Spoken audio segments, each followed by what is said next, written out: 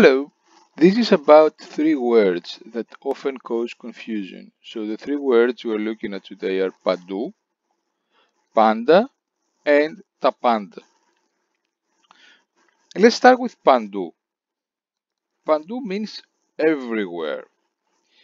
Uh, so if I want to say to some somebody that um, you know you eat everywhere, you know every everywhere you go you're eating, I, I would say tros padu. I mean, this should be fairly straightforward.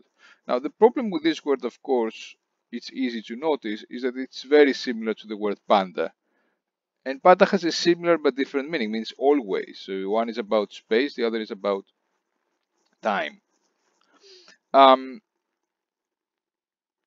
now, um, we have a phrase here. So if I want to say you are always eating somebody, you always eat, I say panda tros notice that although it's not strictly speaking wrong, it does sound a bit unnatural. If I change the order, um, it sounds unnatural.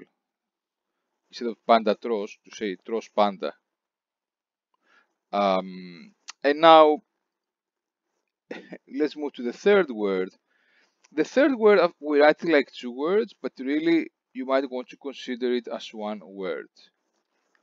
Um, so what happens here is first of all people are confused because you know um, they don't understand. It makes sense they don't understand. You know it's a weird thing that you know adding the article here changes the meaning the meaning from always to everything. That's why i say just understand this as one word. Uh, also it's important to understand this word never changes. So you know it's tapanda. Um, Sometimes in all expressions you might find ton pandon, but don't worry about that. The important thing to understand is the panda stays the same. Yeah. Um, so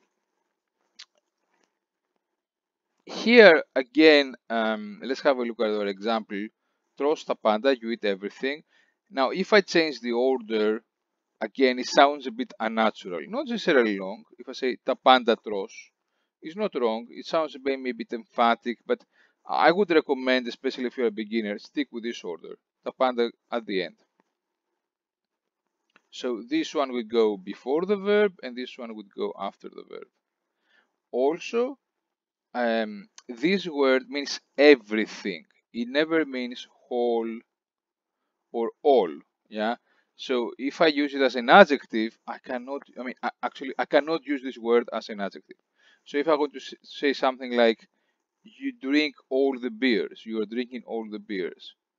I cannot use tapanda. And very important, again, as I said before, you cannot change this word. You cannot make it dispandes, you know, to match with beers because it's not an adjective. Okay.